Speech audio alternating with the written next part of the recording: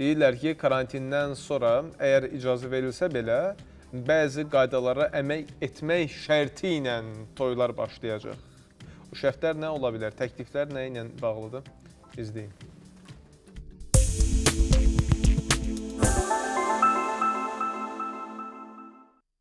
Nə xüsusi karantin rejimi, nə pandemiya 1530 nəfərin evlənməsinə əngəl ola bilməyib. 2 aydan çoxdur bütün restoranlar fəaliyyətini dayandırsa da, nikah masasına əyləşənlər var. Lakin müəyyən şərtlər daxilində bu insanların nikahına icazə verilib. Münasibətlərini rəsmiləşdirsələr də, toy məclisi qura bilməyən bu cütlüklərə millət vəkili Fazil Mustafanın fərqli təklifi var. 20-25 nəfərlik bir məclislərə icazə verilib, lap yaxın çevrənin insanları. Orada şənlənirlər 2 saat, 3 saat. Toydan qabaq da hesab açılır. Hesaba kimlərin ki toyuna gediblər, kimləri ki yaxın hesab edirlər, onlara bildirirlər ki, bu hesabdır. Bu hesaba da adamlar gənc ailəyə dəstək vermək üçün pul köçürürlər. Yəqin ki, toyların karantindən sonra da bu formada keçirilməsini evə dəvətnamə gələrkən qanı qaralan bir çoxları arzu edir. Lakin millət vəkili bunun mümkünsüz olduğu qənaətindədir. Yox, olmaz, olmaz. Bunu məsələn Gürcüstanda eləmək olar, bunu Avropada eləmək olar, Türkiyədə eləmək olar. Azərbaycanda qəti olmaz. Azərbaycanda necə ola bilər? Məsələn, 50 min manat verib 100 min manat Türkiyədən pulun varsa, müğənni çağırıb öyrənməyəsən. Gəlinin ürəyi istəyir, bəyin ürəyi istəyir.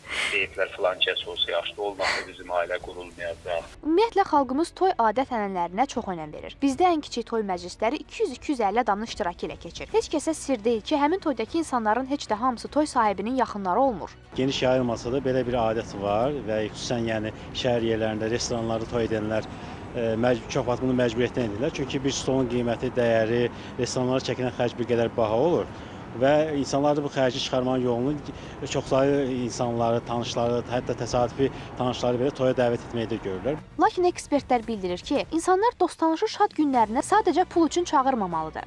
O şəxslər yəni bunu e, bir borc öhdəri kimi görürlər ki, həmin şəxs kimi deyək ki, bir 100-ə yaxın, bəlkə bir bəlkə yüzlərlə, bəlkə minə qədər insanın toyunda, məclisində iştirak edib və həmin insanları dəvət edirsə, təbii ki, onlar da qarşılığında iştirak etməyi və layiqincə o borcdan çıxmağı bir e, yol kimi, vasitə kimi görürlər. Bu halda bu başa düşüləndir. Millət vəkili Fazil Mustafa deyir ki, bu insanların şəxsi seçimidir. Bu məsələyə müdaxilə etmək düzgün olmaz. Lakin hər bir halda göstəriş xətrinə kimlərisə toya dəvət etmək düzgün deyil. İnsanlar ə, bunu bir şöhrətpərəstlik və nümayişindən çıxartmalıdırlar. Yəni gerçək bir ailə həyatı qurulmağa yönəltməlidirlər. Ailə saadətinin formalaşmasına yönəltməlidirlər. Bu insanların adətlərinə, dəyərlərinə bağlanan bir məsələdir və biz qanunla, qanun çərçivəsinə salmaqla deyə bilmərik ki, biz qonaqların sayı 30 olsun, 20 olsun, 50 olsun.